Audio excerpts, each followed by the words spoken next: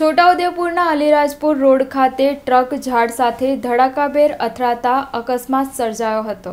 Chhota Udepur Alirajpur road ઉપર લહેવાટ પાસે રાત્રિના સમય દરમિયાન ઘટના બની હતી જેમાં ટ્રક ઝાડ સાથે ધડાકાભેર અથડાતા ક્લીનરનું મોત નીપજ્યું હતું. તેમજ ડ્રાઈવર ગંભીર રીતે ઇજાગ્રસ્ત થયો હતો. ડ્રાઈવરને જોકો આવી જતા અકસ્માત સર્જાયો હતો તેમજ ટ્રક મધ્યપ્રદેશના મનાવરથી મગ ભરીને પાલનપુર જઈ રહી હતી.